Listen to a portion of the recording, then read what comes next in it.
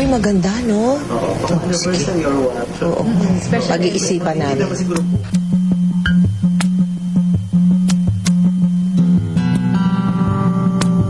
Halos dalawang dekada na mula nang lumipat ng GMA Network ang respetadong mamamahayag na si Miss Mel Chanco. Ngunit hanggang ngayon, sariwa pa rin sa alaala ng news anchor at magpakailanman host ang naging dahilan ng pag-alis niya sa kabilang himpilan.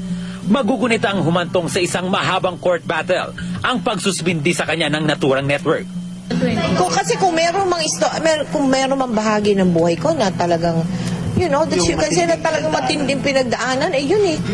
Wala naman yatang iba eh. Yun lang eh, parang sobrang, sobrang pagpanlalait sa akin, sobrang ang pagyapak sa akin, ang feeling ko noon, para kung ipis, paano ba patayin ng ipis? Tatapakan ka. Hindi ka lang tatapakan, gaganunin ka pa. Ganun ang feeling ko noon. But you know, I did not lose my equilibrium. I did not lose my balance. No? I was still in control of my life. I was still in control of myself. Two years ago, nagkasundo ang dalawang kampo sa isang settlement. Binayaran ng network ang isinampang monetary claim ng TV host. Alam kong magaling na empleyado ako. Alam kong masipag na tao ako.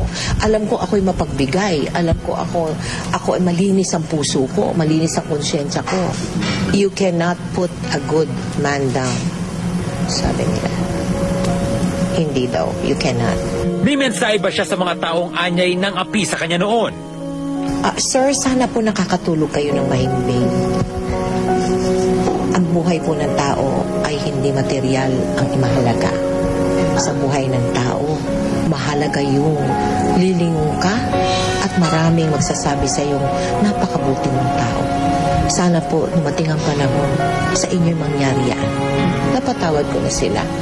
Kahit hindi sila nagsosorry, di ba? Eh, ba't naman hindi ko patatawarin eh, ang ganda-ganda ng aking buhay dito sa GMA.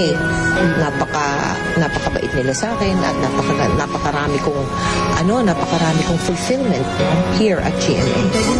Isa sa ipinagpapasalamat ng 24 oras anchor ang pagbabalik sa telebisyon ng magpakailanman.